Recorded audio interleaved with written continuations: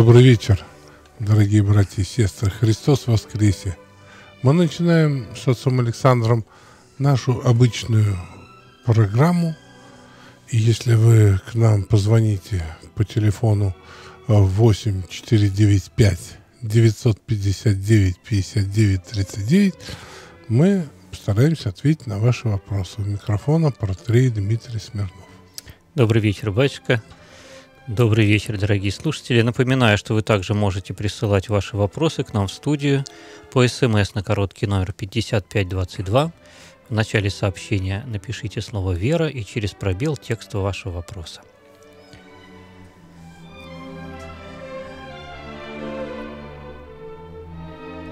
Роман из Москвы спрашивает. Святые отцы говорят, что себя надо сравнивать не с людьми, а с Богом. Непонятно, как себя сравнивать с Богом, ведь Он несоизмеримо выше нас. И как уверовать, что я хуже всех? Имеется в виду, конечно, Господь наш Иисус Христос, который воплоти нам явил э, идеального человека. А потому что если мы будем сравнивать себя с людьми, мы будем их осуждать и превозносить. Это, конечно. А вот э, во Христе, в котором невозможно найти никакого изъяна, а лишь его только клеветать. Поэтому он, э, Святой Отец, дает такой совет. Потом, э, как научиться? Чтобы научиться, нужно только одно – взирать на эталон и молиться Богу. Ну и, конечно, пробовать. Чтобы научиться, нужно захотеть научиться. Ну, это предполагает, потому что о чем-то молиться можно только желая. Нет, большинство людей хотят не научиться, а сразу приобрести. Вот сразу. Господи, дай мне терпение, вот чтобы оно меня завтра уже, так сказать... Нет, ну, терпение, если человек вот, ну, сегодня какая-то ситуация, допустим, ну, ждет трамвая. И вот, ну, все, уже рождаются определенные слова там, вот. И он скажет человек, Господи, дай мне терпение. Господь тут же даст. Вот это будет шаг вперед. Просто вот отсутствие в данный момент терпения, если вот, ну, терпение важный добродетель, если о ней начать говорить, э, то вот э, должно служить нам не сигналом к раздражению, а сигналом к молитве и напоминанием о том, что вот, пожалуйста, тебе упражнение. У меня был случай, батюшка, когда одна женщина пришла, я ей порекомендовал почитать Евангелие, она приходит, говорит, дальше читать не буду. Я говорю, а что такое? Да вот, говорит, дочитала до того, как бедная женщина просила за свою болящую дочь, а Христос ей даже не ответил. И говорит, что-то мне так стало горько, что ж он такой жестокосердный? То есть вот люди, они видят во Христе но тоже изъяны, тоже грехи, тоже несовершенство. Ну, тут вот в чем дело. Она не дочитала до конца. В этом-то проблема. Ну, не поняла. Не нет, поняла нет, ну, в том-то и дело. Она прямо ответила, что она не дочитала. Он дочку-то исцелил. Вот. А это был урок для всех, кто видел, для нее самой и для нас. Что некоторые вещи Господь исполняет с пожданием бывает не очень большим.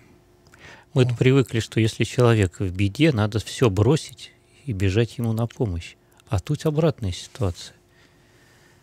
Он такое ощущение, что пренебрегает ее бедой. Ну, не знаю. Ничего, если отчитать от начала до конца, то такое совершенно не складывается впечатление. Ну, это у нас с вами, потому что мы знаем, суть этого ну, события. Ну, да, вот если там ведь немного, не на пять страниц повествования, буквально там три абзаца. Ну так и все сразу становится ясно. Он э, пришел к погибшим овцам Дом Израиля, исполняя послушание Отца Небесного. И вот в это вклинивается Хананейна. И он ее испытывает ее веру.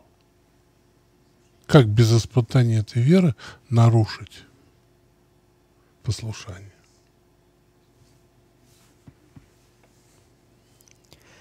Но вот в нашей жизни тоже часто бывают такие сомнения. А что предпочесть?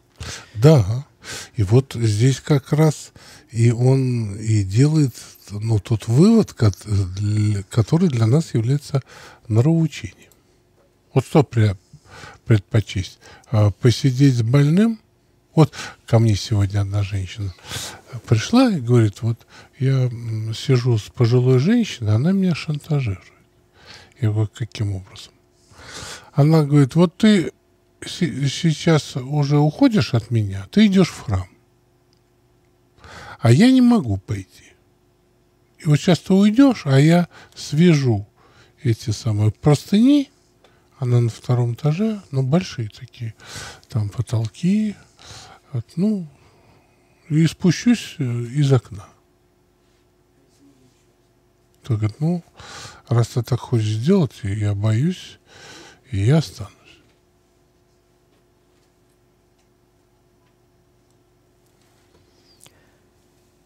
Вопрос нам пришел, батюшка. Что значит Царство Небесное внутри нас, и сам Бог внутри нас есть? Это речь идет о благодати Божией. Потому что Бог может быть в нас только посредством благодати. Вот что это значит. А как не ошибиться, что именно это благодать Божья, а не состояние прелести или душевного восторга? Тут не ошибешься. Потому что, скорее всего, прелесть и душевный восторг. И, так сказать, может быть, какое-то истероидное впечатление о себе самом. Потому что явное присутствие благодати Божией – это, ну, ни с чем не сравнимая вещь. Поэтому то человек обычно, чем себя тешит, это бывает – нервное состояние души. Но не имея такого опыта личного, человек может усомниться, что это действительно от Бога. Очень часто задают вопрос. Сомневаться – это для человека очень нормально. На то и ум даден. Но умом ты не различишь, что в тебе есть. Ну, потому что это не дело ума. И вообще не наше дело различать. Когда придет благодать Божия, ее ничем не испутаешь, надо это принять как некий факт.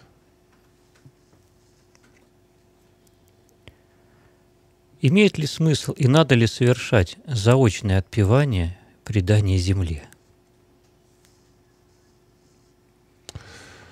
Э, предание земле как насыпают в пакетик песка? Нет, конечно. Не имеет никакого э, такого сакраментального смысла. Вообще какой странный обряд, который, понятное дело, возник только уже в послевоенное время. Но ну, а само понятие заочное отпевание. А тоже это новое.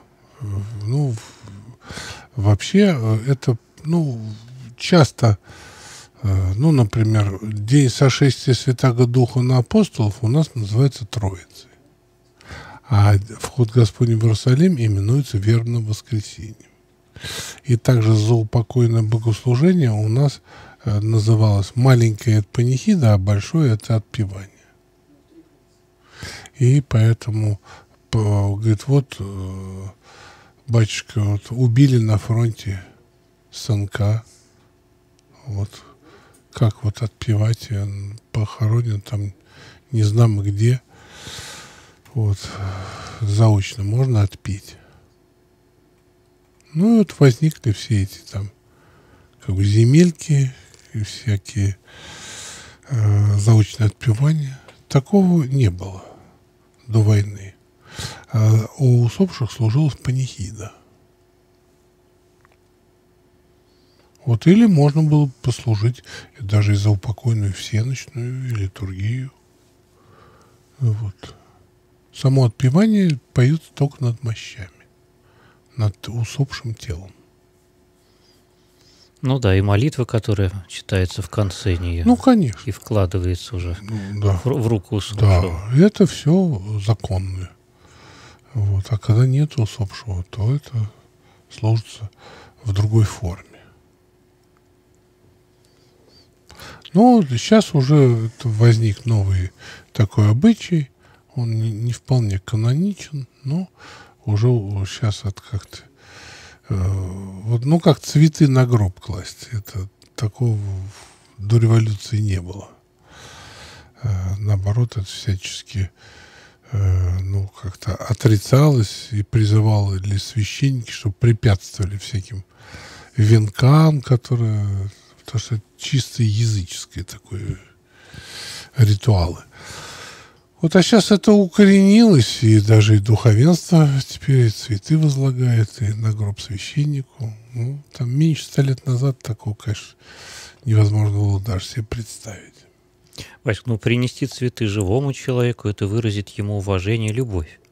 А принести усопшему, в чем здесь грех или неправота? Ну, это тоже что, выражение любви. Ну, не было такого обычая в церкви. Потому что, а потом, вот мы принесли цветы, дальше с, с ними делаем? Они на могилу, украшается могила. Ну, как место погребения. На могиле там проделают с ними жесточайшую операцию. На глазах у всех отрубают. Там стебли, лопаты. Э, роются ямы, их вставляются. Для чего? Чтобы э, граждане не украли их с могилы не продали следующим родственникам следующего покойника. Все это выглядит вообще чудовищно просто. Все эти вот такие ритуалы, которые делаются, совершаются, ну, как-то так, сознанием дела. Ну, уже с, с привычкой. Ну да, с такой привычкой. В общем, от этого веет жутью, а не любовью к усопшему.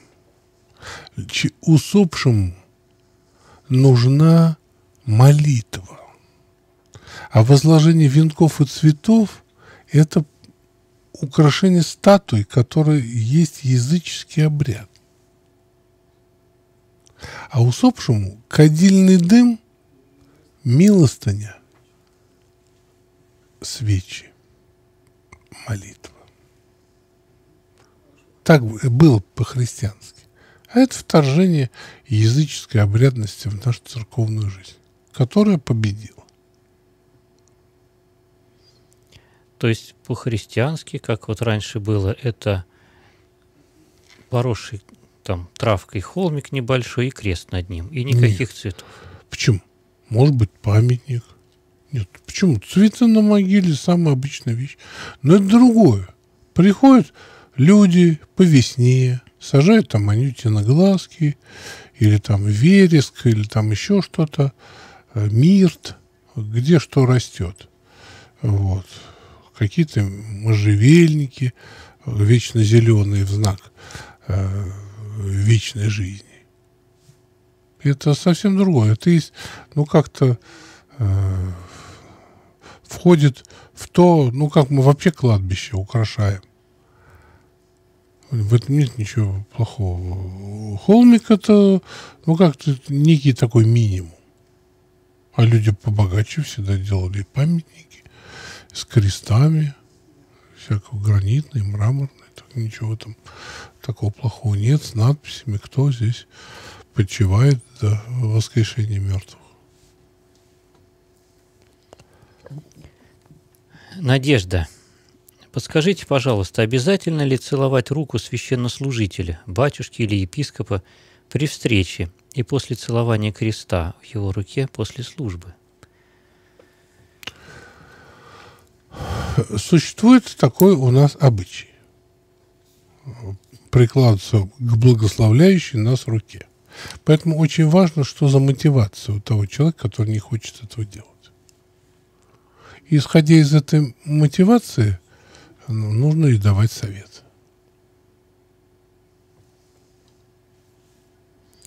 Допустим, он говорит, я это делаю из гордости.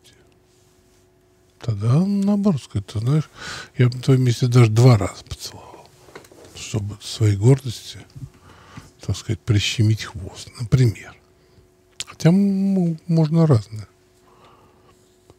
увидеть. Но, видно, люди некоторые не понимают смысла в этом целовании. То есть зачем это нужно, что это, как некая э, традиция лишь, или какой-то в этом есть действительно смысл? Нет, ну смысл есть. Ну а прикладываться какой? Целовать руку, которая тебя благословила, это равно честно прикладываться устами к иконе после того, как мы Помогу. произнесли молитву. Абсолютно. Это вот идентичные вещи. То, что священник не от себя же благословляет, а именем Божиим. Иуда бросил сребреники, признал, что предал кровь невинную. Это настоящее раскаяние или что-то не так, раба Божия Ирина? Настоящее раскаяние, оно связано э, с исповеданием это Богу, чего он не сделал. Он пожалел о содеянном. То есть это еще не покаяние? Ну, конечно, если бы это было покаяние, у него на душе было светло. А у него на душе было так темно, что он пошел удавился, настолько его мучил этот грех. А чтобы вот это вот сожаление или раскаяние стало покаянием и стало светло, что для этого нужно? Он должен был бежать на, на Голгофу и спросить прощения у своего учителя. И больше ничего, и он бы его, конечно, простил. Пав на колени, Господи, прости меня. Да. Обняв его причистые ноги и облобызав раны на его ногах. По-моему, тут все очень как-то понятно. Михаил из Ижевска. Как реагировать на околоцерковные рассуждения коллег? Высказывать, что они глубоко неправы? Как-то глупо, меня не спрашивает никто. Молчать чувствую дискомфорт, как будто предаю своим молчанием Христа. А около церкви не надо стоять, надо в нее входить и молиться Богу. А то, что говорят другие, это же вот происходит при нем. Ну, мало ли, так сказать, что другие говорят. То есть пытаться кому-то что-то доказать, там, неправоту или как-то разъяснить. По-моему, это безумная гордость. которая всегда творит всякие бессмыслицы. То есть как-то переломить вообще мнение человека о церкви с помощью слов нельзя. Mm-mm. М-м. Но как-то мы все призваны к проповеди, к свидетельству, к апостольству. Вот, ну, и, каждый свой... вот и свидетельствуй, и проповедуй, апостольствуй.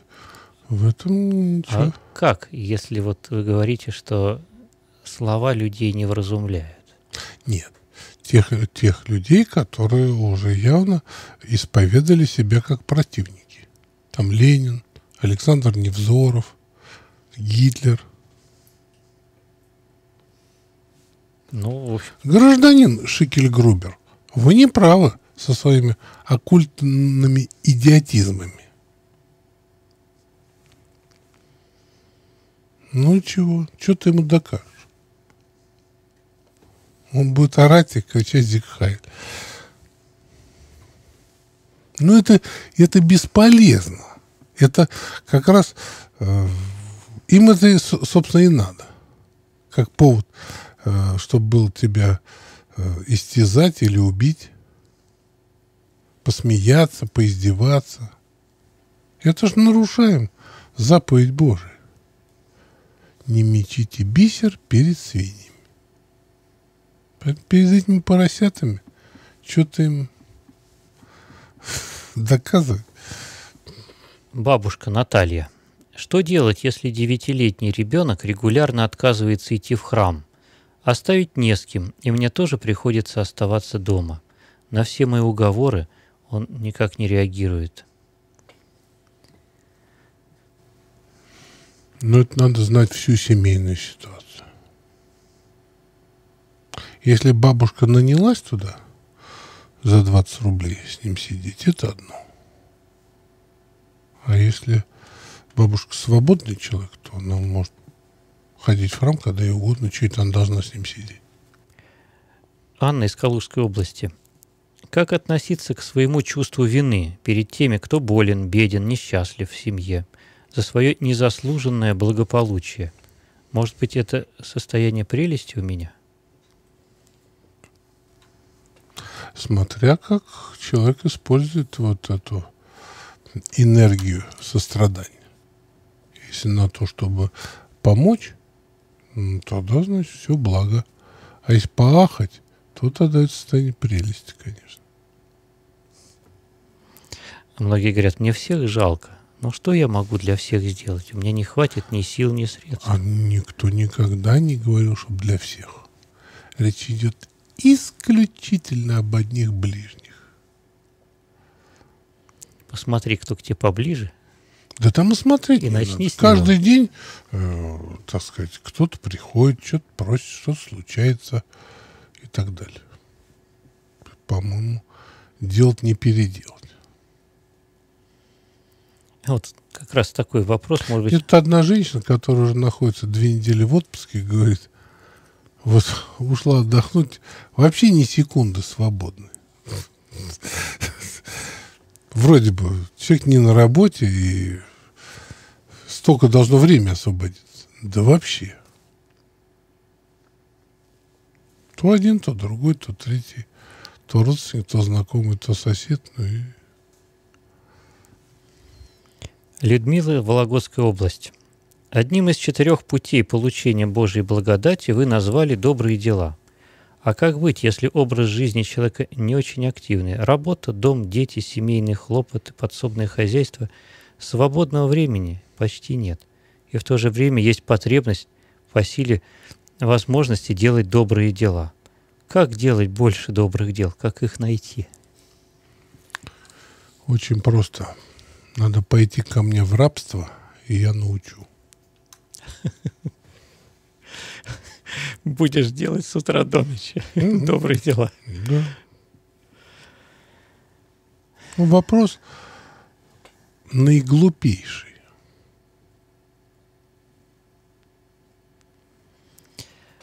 Хочется облагодетельствовать как можно большее количество людей. Да а... дело же не в этом. Это просто задача совершенно не христианская. Христианская задача – умягчить свое сердце. Вот. Опять, для чего? Для восприятия благодати Божией, которая есть Царство Небесное. Но нет нигде ни в Евангелии не написано, ты должен облагодетельствовать как можно больше людей. А если весь мир приобретешь, а душе своей повредишь? И какой смысл, э, кроме тщеславия, в твоем облагодетельствовании? Никакого. Также здесь приусадебное хозяйство, работа там.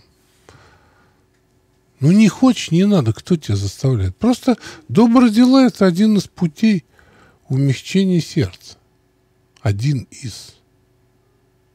Помимо молитвы, таинств, чтения Писания.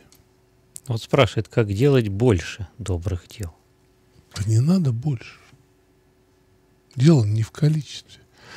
Как и о молитве сказано, не в многословии будете услышаны.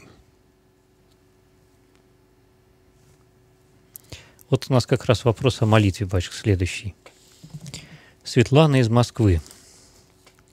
Я неоднократно слышала, что Иисусова молитва содержит в себе всю полноту прошений у Бога. А зачем тогда у нас так много разных молитв? Недостаточно ли один раз во, со всем вниманием прочитать Иисусову? Достаточно.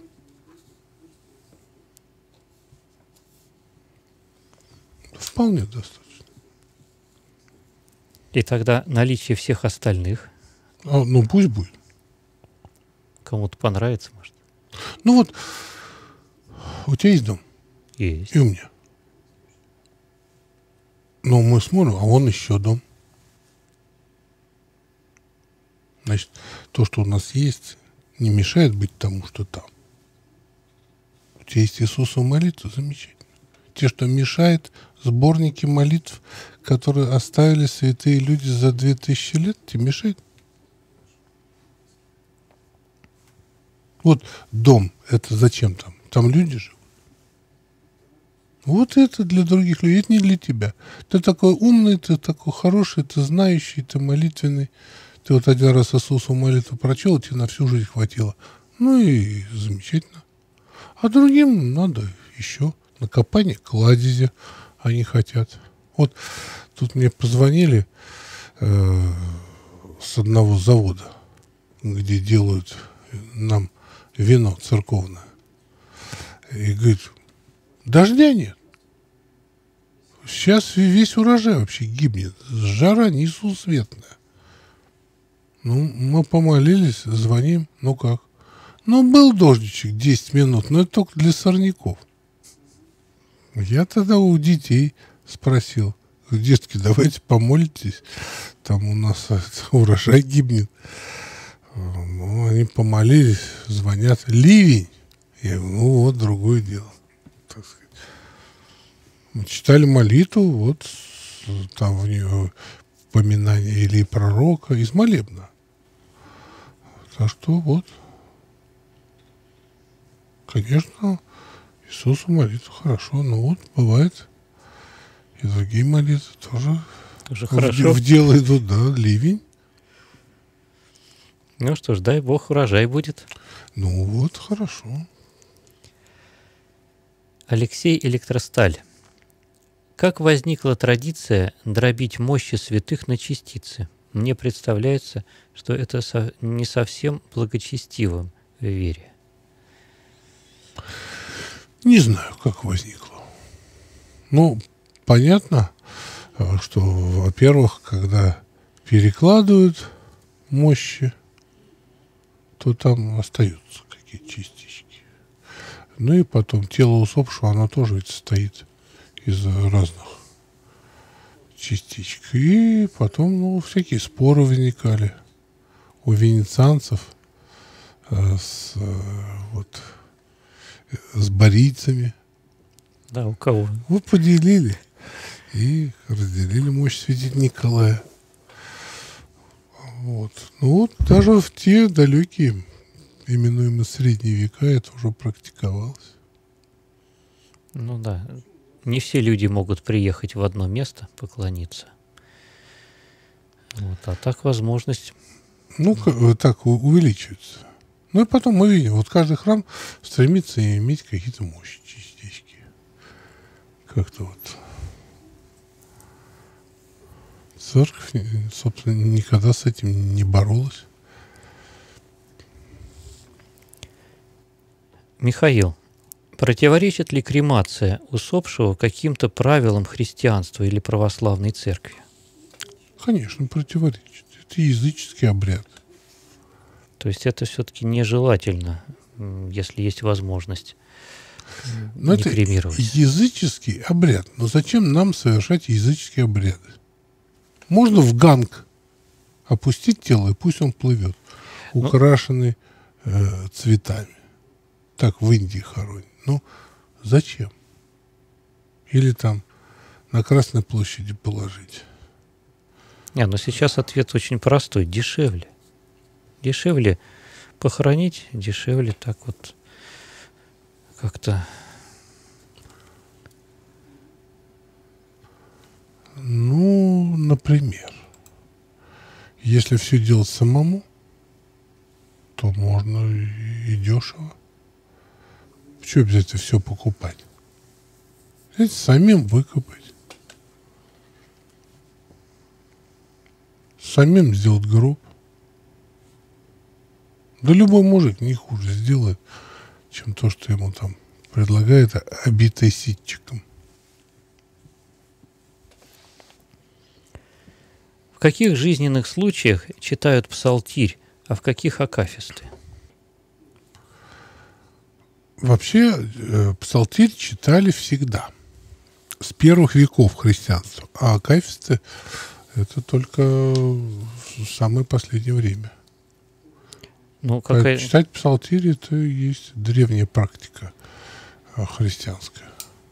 Ну, раньше не было такого обилия молитвословий, была только псалтирь. Из нее ну, составало, стояло это, богослужение. Ну, как бы, да, первый молитвенник церкви христианской, который, понятное дело, заимствован из Ветхозаветного э, богослужебного круга. Это понятно. А, вот. А акафисты это уже на основании того акафиста, который мы читаем. Богородицы. Да, первый. на похвалу Богородицы. Вот стали создавать сначала другие акафисты в честь празднования ее икон, других событий ее жизни, и дальше уже пошли акафисты всех святых, потому что эта форма ну, как народу понравилась. Но сейчас считается, что псалтирь это вот когда об усопшем надо помолиться. А это, когда порадоваться... Это тоже вышло э, обычай оттуда, из древности. Когда человек хотел молиться много и долго о усопшем. Поэтому вот читали псалтирь. С этим было связано. Не потому, что псалтирь как-то связано э, с поминовением именно усопших. Там 17 кафизм, это понятно.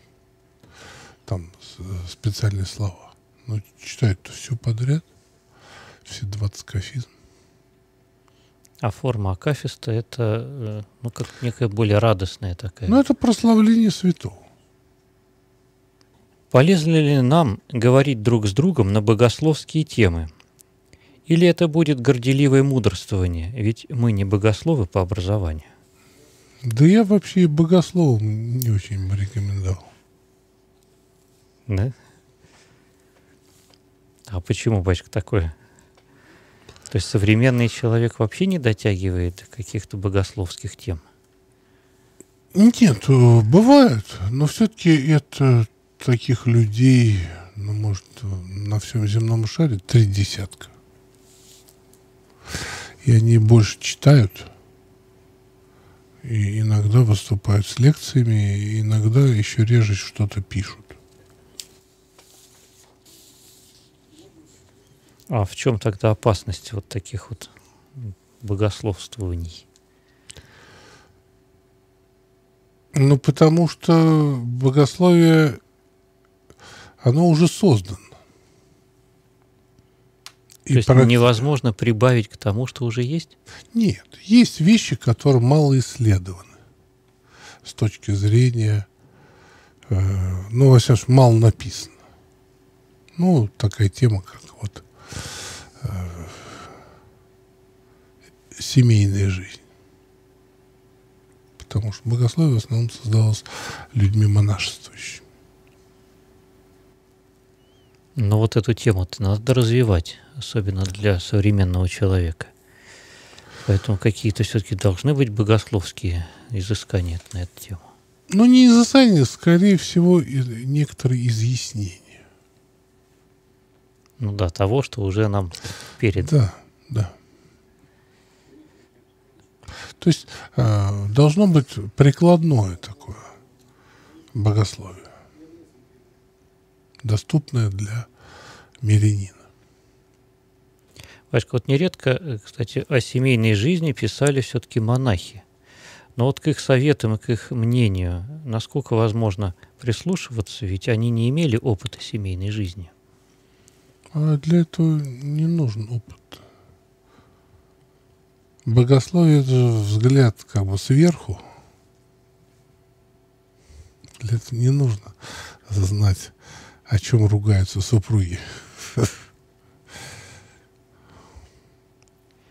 То есть там взгляд именно как... Богословие, оно же исследует ну, самые принципы устройства бытия. То есть ответ на вопрос, как человеку быть с Богом? Ну, и как этому способствует семейная жизнь, например. Как ее устроить? Да. Что такое семейная жизнь и как на нее настроиться? Это будет следующий том.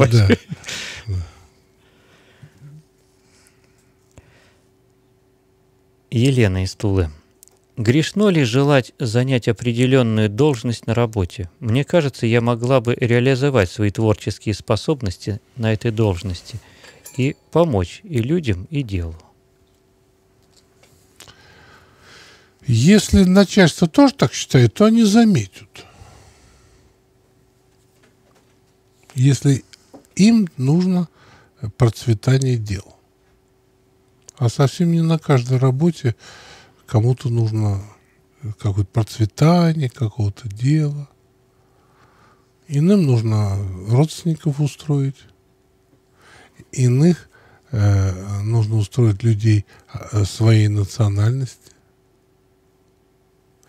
А иных э, как можно больше привлечь денег с целью. Потому что когда родственники и люди свои, с тобой соплеменные, ре, э, легче как-то этой денежки пустить не в ту сторону. То есть разные задачи. У тебя могут быть задачи там вот, ну, вывести свое предприятие на какой-то такой мировой уровень. А тот, кто им руководит, это вообще не надо. Ну, будет конфликт. Будет и выгонят. Так что нужно как бы соображать и не очень обольщаться. От любого обольщения, даже самим собой, таким прекрасным человеком, э, то голова кружится, и человек начинает делать ошибки. И бывает последний горше первого. Игорь из Санкт-Петербурга. Почему Иоанн Предтеча, зная точно, кто Мессия и имея вес как пророк у, у идеев, не указал точно на Христа? Ведь к нему прислушались бы тысячи. Ну, мы об этом говорили. Так что, если желаешь, можешь сам повторить. Не раз мы. Ну, вот опять же, человек хочет как-то указать на неточность может быть, поведение да, пророка, указать, что вот я бы на его месте был. Дал слабину. Был бы другим, да. Я бы вот... Я от предтечи имел дар от Бога пророческий. А все наши кажущиеся такие вещи, это не от Бога.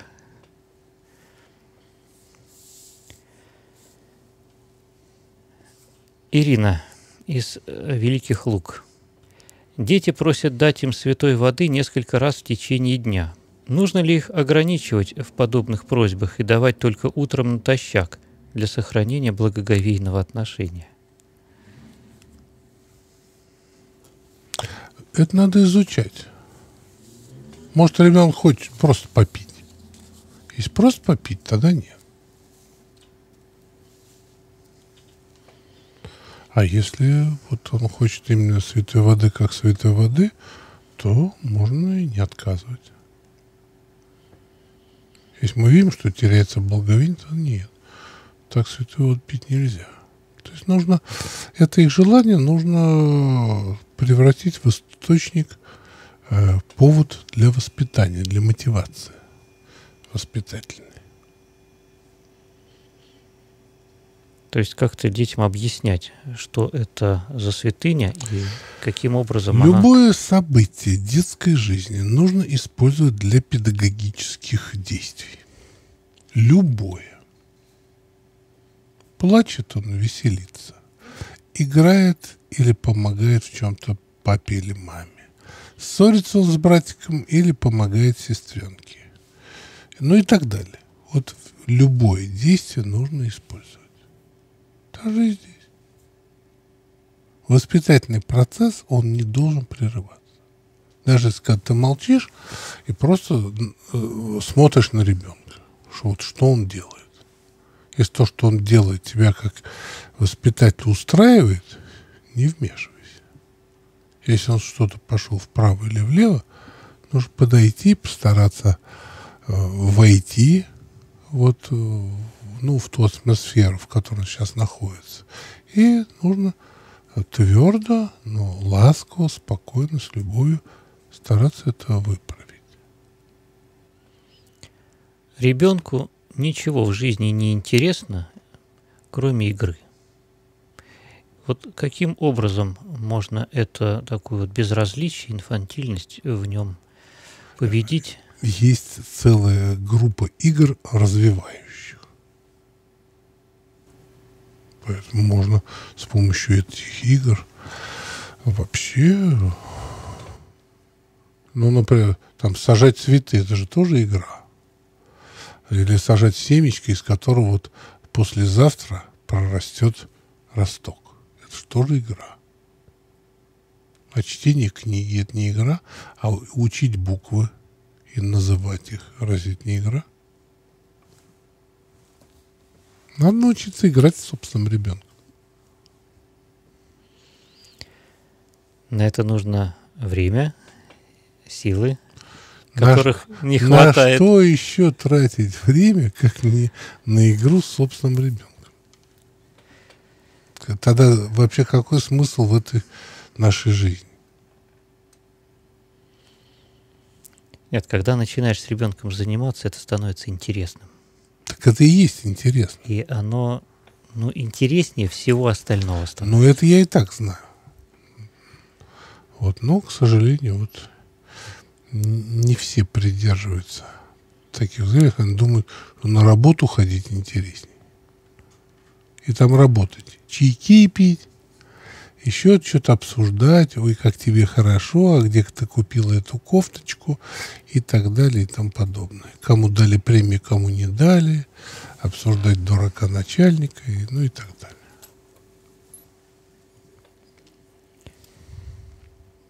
Сергей из Бреста. Как объяснить такое явление, как русофобия? Живу в Белоруссии.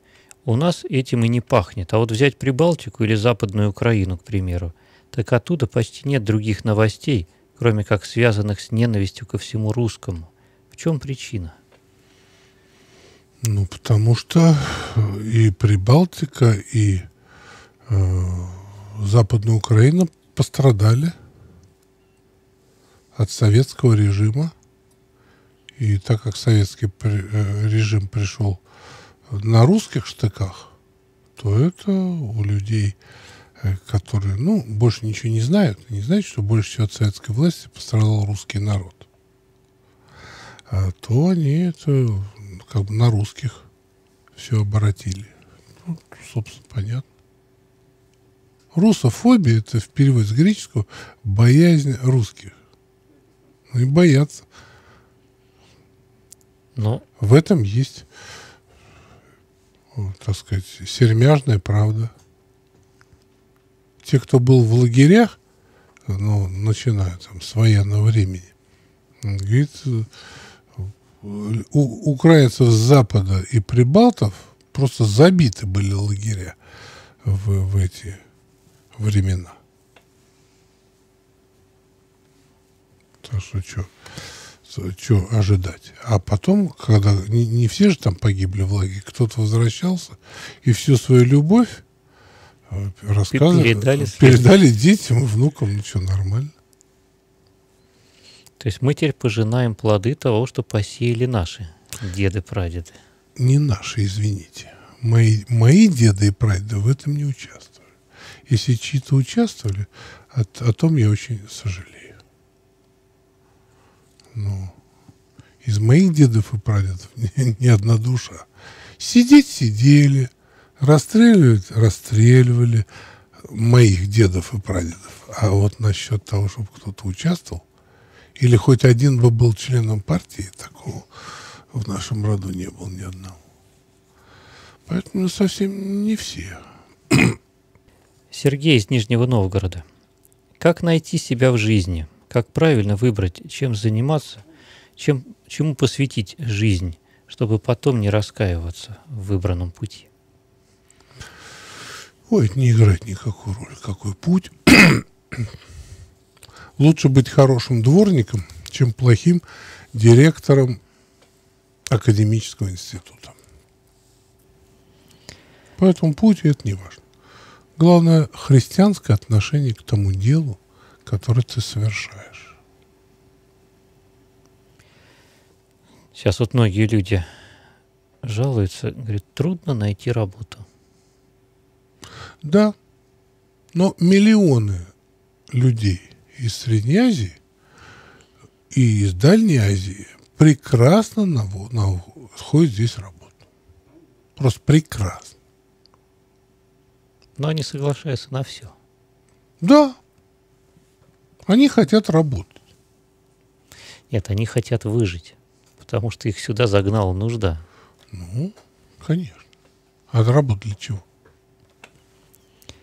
Они согласны на нищенские зарплаты, на совершенно нечеловеческие условия У них жизни. уже зарплаты далеко не нищенские. Нищенские зарплаты – это там, у педагогов высшей школы. Это да.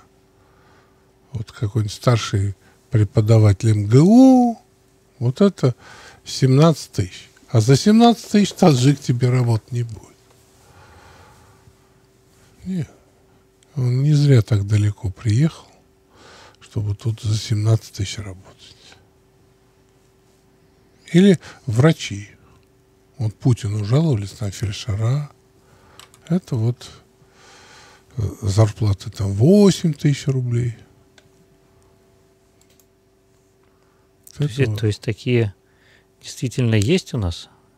Ну, ты даже не знаешь. Конечно. Не, ну я знаю, что где-то на периферии, там, да. да а ну у нас периферия начинается уже в Пушкино. То есть за кольцевой дорогой. Ну, ну, нет, до Кольцевой. Пушкина это уже километров там 40 от Москвы. Уже периферия. Газа нет. Электричество только тогда, когда хорошая погода. А так чуть дождик, так сразу отключают. Московская область. Большая часть по площади Московской области нету газа. Это на Украине газ везде. А в Московской области, знаешь, есть такой город-герой Москва? Знаю. Ну, до Пушкина газ есть, дальше нету газа. В баллончиках вози. И дороги, как будто э, это полигон для танков. Так, шоссе-то есть, а вот там что, от шоссе до деревни, ну-ка давай-ка. Так что что, как дождь, так трактор вызывай. Вот оно, рядом, 100 километров нет от Москвы. Что там? И, и что там народ получает? Спроси-ка. А таджикам у нас семью кормить, он не будет тебе. Ему надо, блин, и самому здесь на пропитание, и отослать. Он кормит там семью большую. Алексей из Москвы. Нашу страну называют православной. Только была ли когда-нибудь у нас истинно православная вера, без примеси язычества, ересей? Если уже в XIX веке многие богословы огорчались состоянием церкви, то сейчас что? На какое время обратить внимание? Понимаете, какое дело? Тут э, Вообще я бы обратил э, внимание на любой отрезок времени нашей удивительной истории. Но не надо говорить в общем. Вот есть такое выражение, как средняя температура по больнице. Учитывая тех, кто уже в морге. Вот. Тогда вообще у всех нормально, даже чуть прохладно себя чувствует. Также здесь. Есть люди выдающиеся, как там Макарий Желтоводский. Замечательный святой угодник Божий, который основал несколько монастырей, так сказать, святой 15 э, века. А есть люди простые. Есть Иоанн Богослов, есть Никодим и Иосиф. Его тайные Христовы ученики. Все люди разные и в разном разная дистанция между ними и Христом. И если мы посмотрим время э, Макария Желтоводского, то если мы сравним, а как жили в это время наши камчедалы? Или наши якуты? Ну, только в бубен били, все, и шаманили, камлали там себе потихоньку или громко. До них христианство докатилось только в середине 19 века. И как э, температуру христианства вообще замерять? А после э, победоносного шествия советской власти, когда священников всех ликвидировали, книги все сожгли. Всех носителей христианства уничтожали. Ну так и что, что ждать, что современные люди кинулись в астрологию, в инопланетян, в экстрасенсов, ну что тут? Все совершенно понятная реакция э, народа. Поэтому не надо не смотреть никакой воды. Всегда были подвижники духа с первых, э, так сказать, дней после крещения. Борис и Глеб, это первые наши святые, это уже дети князя Владимира. Так что есть святые, есть люди, которые там что-то понимают, что-то не понимают, что-то воспринимают, что-то у них там переплавляется в голове. И сейчас тоже. Ну да, то есть всегда было. Ну, естественно, человек, каждый человек рождается из утробы матери. Для него все заново. И солнышко светит, и христианство, и рядом тут ислам, и так сказать, э, ученица биологии про обезьяну толдычит, от которой он произошел. Этот бедный ребеночек. И он должен во всем этом из этого выплыть к свету Божию. И это было всегда. Каждый человек, появившийся на земле, он свой путь к Богу прокладывает через это все. Что выберет его душа? Вполне Обычная ситуация. То есть сомнение в том, что православная, православная ли наша страна, это такой вопрос надуманный получается. Ну, глупый. Есть. Ну, есть опросы населения. 84% опрошенных говорят, я православный, что еще надо? Степень, ну, она разная. Но я не могу сказать, что я более православен, чем там любой из тех, кто сказал, что он православный. Это Господь определит на страшном суде, кто из нас православный. Потому что Он только знает, что Ему нужно от нас. А мы только догадываемся. То есть каждый в меру своего понимания идет Христовым путем. Из тех, которые говорят, что они православны. Но тут еще другое. Очень многие православные, а они думают про себя, что они кто-то другие. Такое тоже есть. Это как? Ну вот сейчас к нам в храм ходит один парень, он хочет жениться на одной нашей прихожанке, а я ему объясняю, что у нас брак-то возможен только во Христе. А он не крещенный даже. Ну не крещен, в церковь-то ходит уже. Замечательный парень, вообще замечательный. Но его нет. Вот ну, я же не могу тебе мою такую хорошую прихожанку 23 лет отдать за тебя, если ты не крещенный и вообще... А формально нам с тебя твое крещение не надо. А что это он пришел к вам еще спрашивать?